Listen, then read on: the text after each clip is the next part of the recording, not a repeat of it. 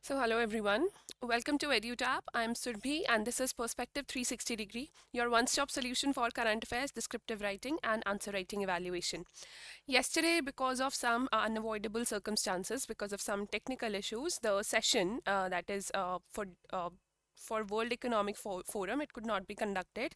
And hence you're receiving this video in a recorded premiere uh, format today.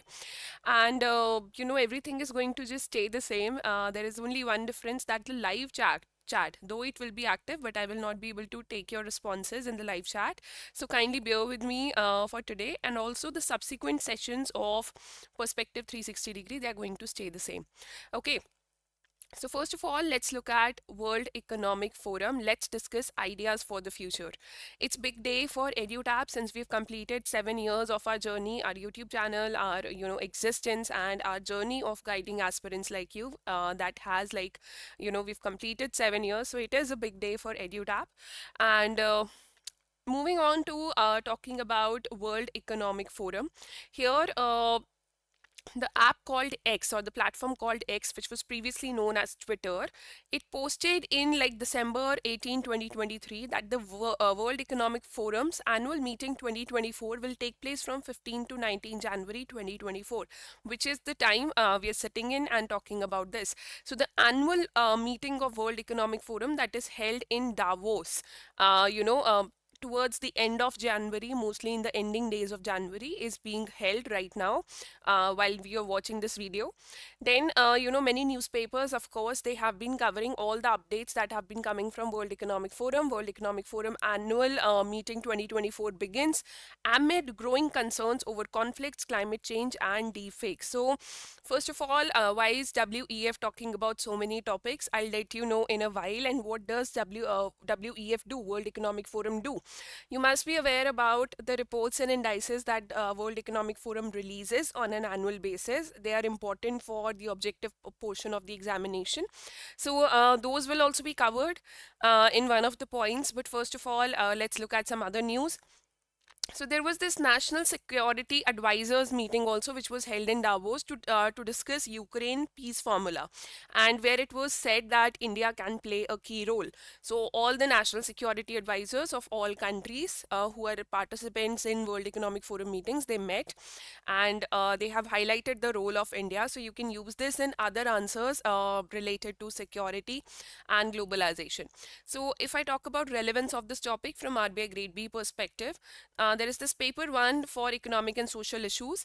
Uh, first of all, I want you to focus at globalization. Obviously, World Economic Forum forms a part uh, of the syllabus. It's not explicitly mentioned, but implicitly, uh, World Economic Forum is a very important organization um, uh, which forms a part. And the second one is sustainable development and environmental issues. And these are the areas where World Economic Forum focuses a lot on. In fact, the, you know, gender issues and social justice, that is where uh, World Economic Forum focuses a lot on. Okay. For NABARD grade A, uh, again, you have the topic called globalization in economic and social issues. And then you have globalization of economy. And similarly for topics of, uh, you know, gender justice and uh, social issues, uh, this topic hold rele holds relevance. You can definitely quote World Economic Forum in your answers. Then for SEBI grade examination, there is a topic of English writing skills. Uh, there is a, uh, you know, separate paper of English writing skills for which data by World Economic Forum and anything related to it holds a lot of relevance.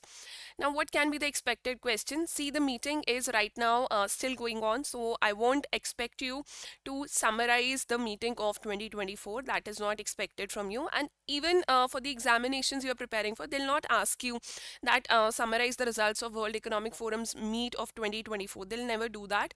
What you need to know is the basic concept regarding world economic forum. What does it do? And what are the achievements uh, that it has seen so far? And the achievements are a lot. Many of these will surprise you so here we have this question called write a short note on World Economic Forum, answer for 400 words, that is for 10 marks. All right, so uh, here I'm sharing the answer blueprint with you, which has been followed by EduTap students for the past many, many years since descriptive section was introduced. And this uh, answer, uh, you know, this you have to write in this format because this format gets you the maximum marks. If you have any other format with you, kindly let me know in the chat section or comment section. In this way, uh, we divide our answer into three parts. We start our our answer with the introduction where we talk about the topic briefly. Then the second part is the main body and the third part is the conclusion. Okay. And um, now let's see what we'll write in introduction. Let's talk about general overview and background of World Economic Forum. Why was it formed? What's the history related to it? Then in the body part, since it's a, it's a short note, hence we'll utilize just one body part here where we'll talk about initiatives of World Economic Forum and also its significance. You can like, you know, separate it in multiple body parts. Here we are writing in pointers so that, you know, one body part is sufficient and multiple pointers followed by sub pointers. Uh, they will be uh, taken to answer this question.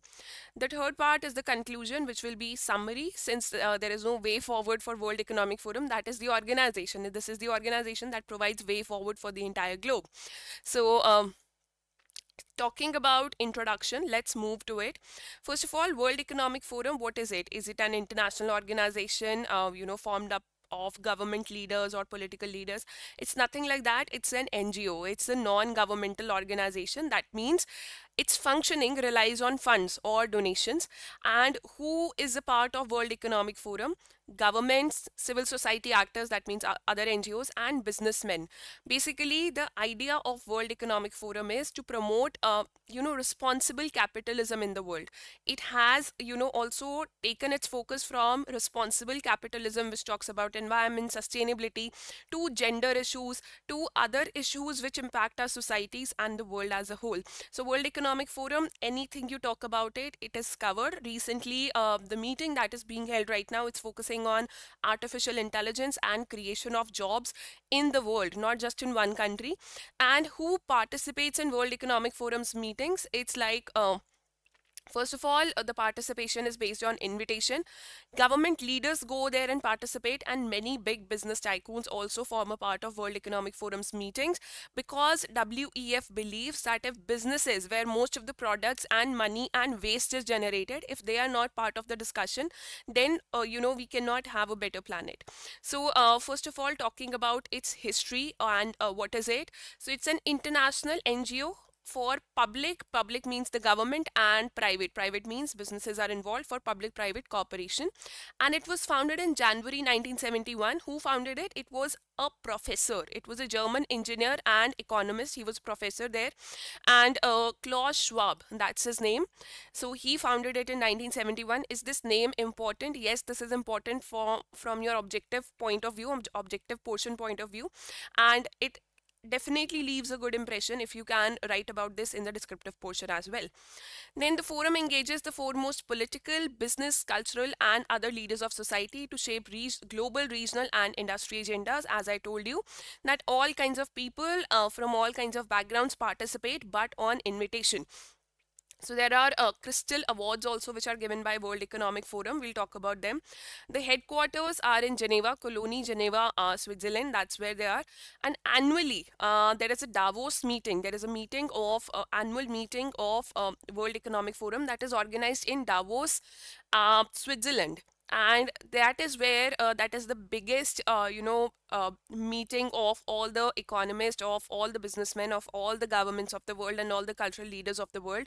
So that is looked upon by media, and because that shapes the ideas for future, that shapes how governments act in future, and it is a very good platform for discussion and deliberation. Let's say two countries are um, not having good relations, so both the countries' uh, presidents or prime ministers will definitely attend World Economic Forum's meeting.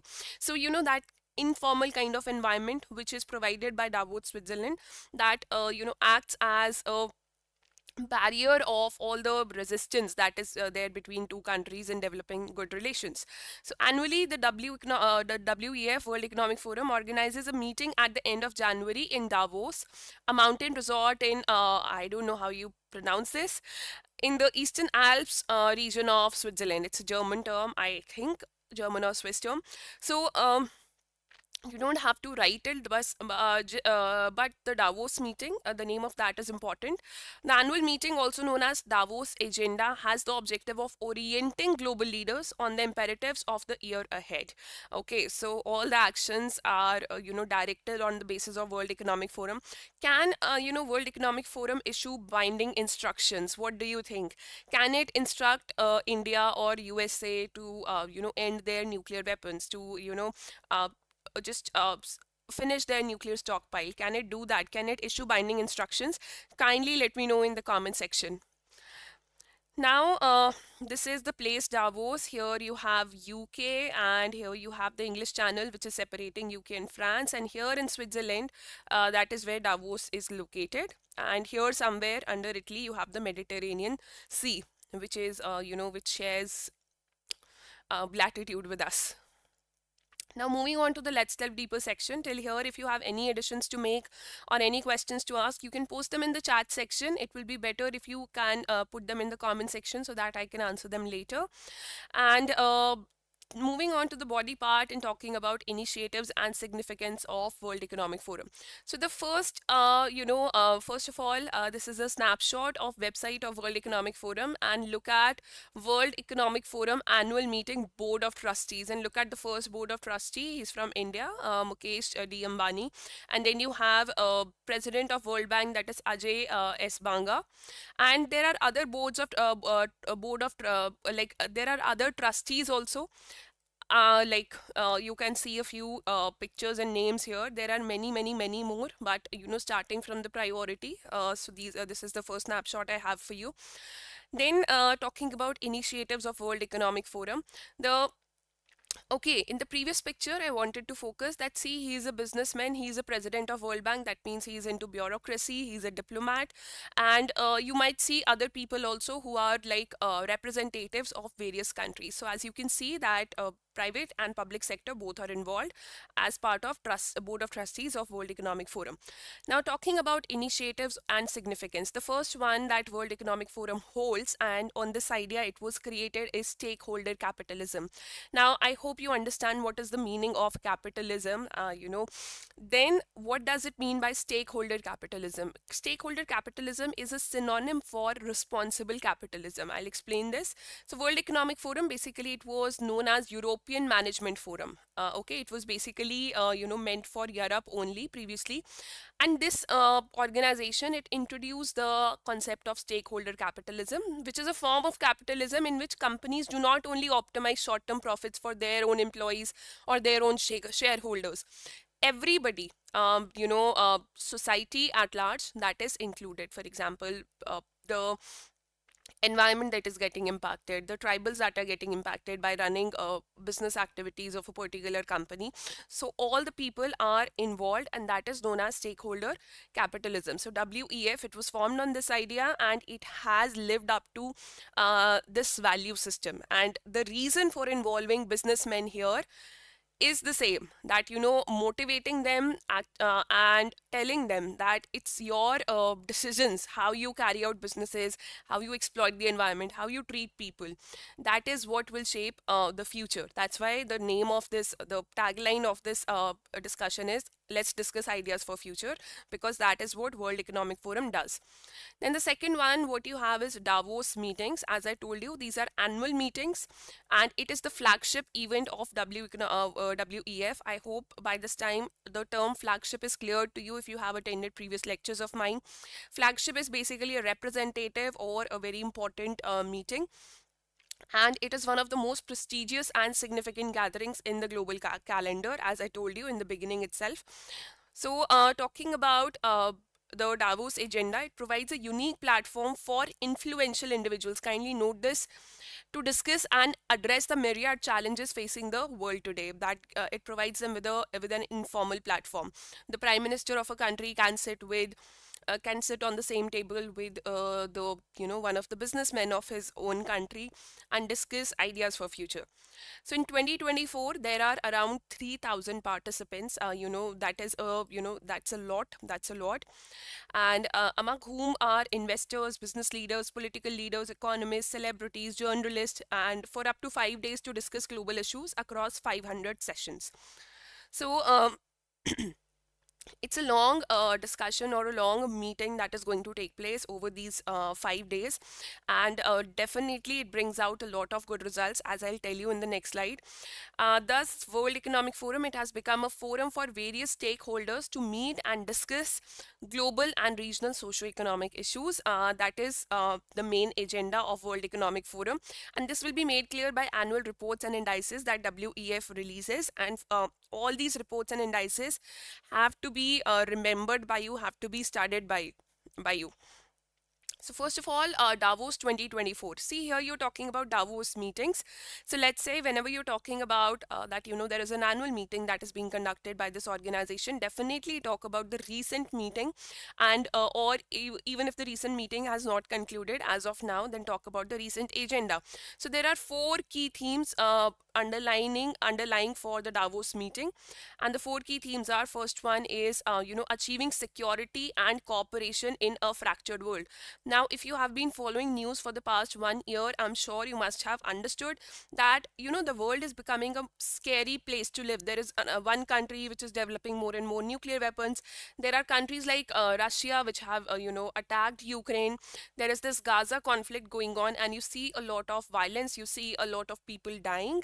So security and cooperation, that how can we enhance security through cooperation in a fractured world that uh, that is one of the agendas of davos meeting. And as i told you uh, that india is uh, main focus here because India has soft power, India has a, large amount of hard power also, and we have like diaspora as well. So India's role has been focused on here.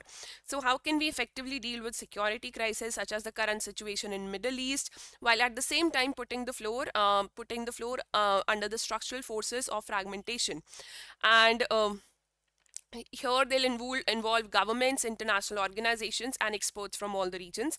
The second one is creating growth and jobs for a new era. Now, you know, automation and loss of jobs has been talked about. So World Economic Forum considers it it as its responsibility because it uh, it has the power to include all the leaders of the world so it considers that it's our uh, it's the organization's responsibility to talk about such important matters. So how can government, business and civil society come together around a new economic framework to avoid a decade of low growth and put people at the center of more prosperous trajectory? Now, as I told you a few days back, we discussed the Global Economic Prospects Report. And in the Global Economic Prospects Report, it was said that till, um, you know, 2024 up to 2025, they're going to be the slowest growing years. And even after recession we did not have this much uh, this low level of uh, growth rate uh, for various countries for the entire world as we are witnessing right now. So lesser growth rate or rate also converts into lack of jobs or loss of jobs for people uh, in and around your country all over the globe. So this is an area where world economic forum is focusing on because it has all the businessmen it has all the job providers of the world uh, under one umbrella Okay. Now, um, the third one is artificial intelligence as a driving force for the economy and society.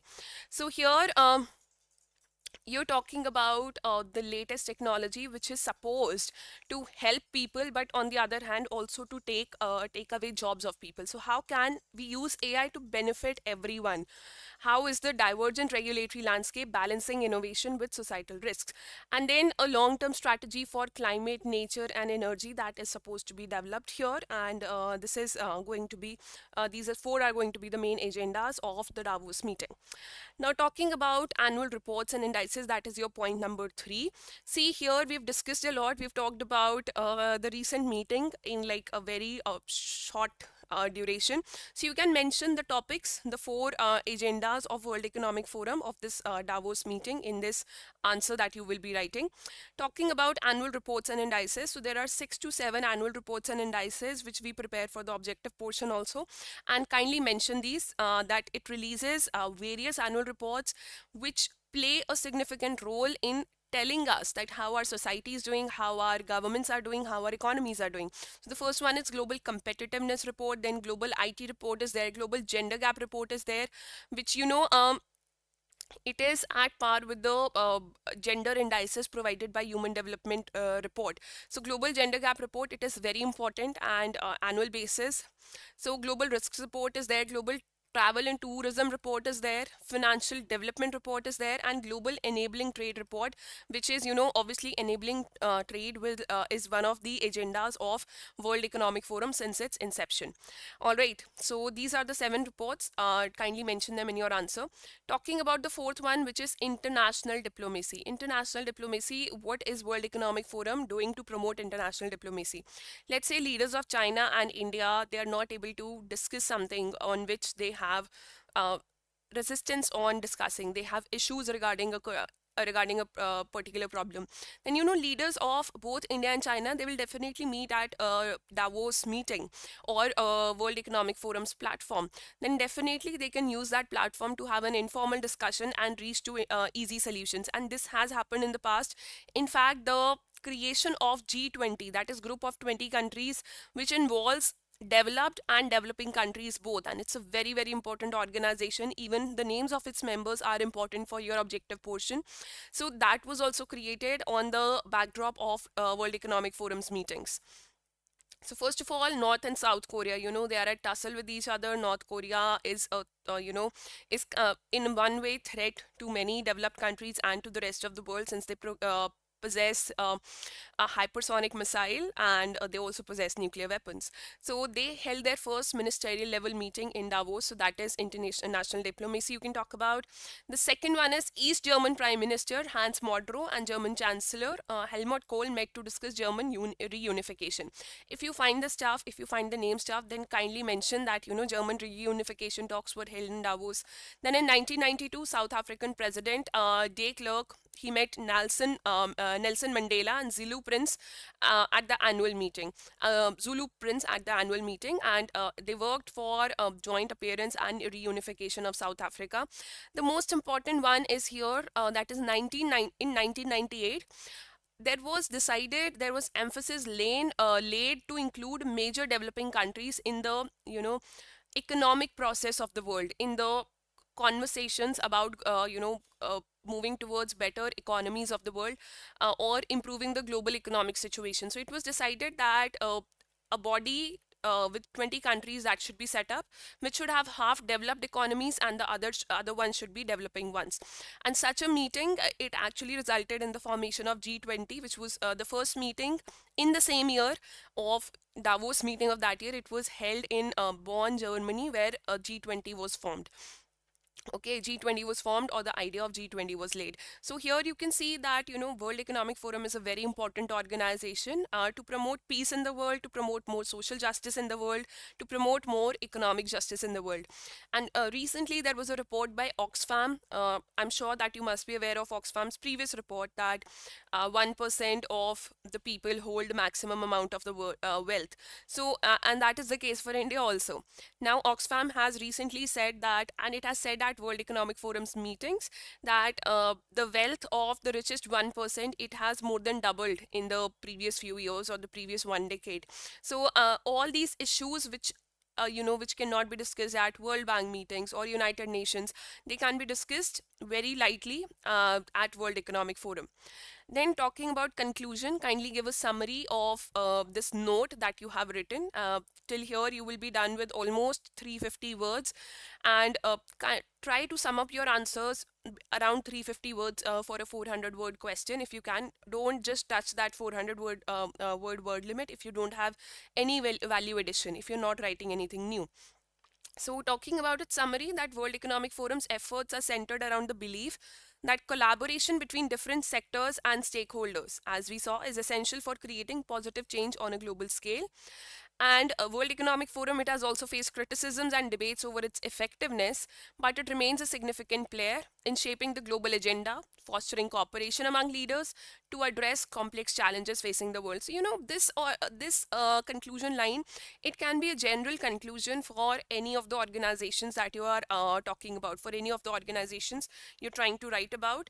And uh, in like conclusion or summaries what i want is i want to create i want to make a point here that write one line which is very much specific to the organization you are summarizing about and then write another line which is very much general uh, for all the organizations that you're writing about this line can go and uh, kindly uh, post your answers in the comment section in next 48 hours. So today's Thursday.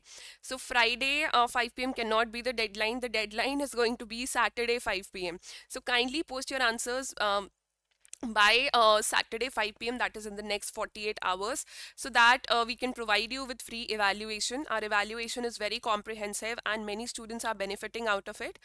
And thank you for joining in. Thank you for your patience that despite of the technical issues which were present in the live session yesterday, um, you continued uh, to follow the series and watch this and uh, you know just kindly follow the updated timetable for the answers that you're about to post. Post them by Saturday 5 p.m. And I'll see you tomorrow. Again at 5 p.m. in a live session. And tomorrow we'll discuss the ASER report, that is Annual Survey of Education Report, Annual Status of Education Report. It's a survey conducted by Pratham, uh, Pratham Foundation. It, it's again an NGO and very important one for India. So we'll discuss that in detail and uh, kindly contact us at this number or this email ID and let me know in the comment section how are you finding these videos. Take care and all the very best.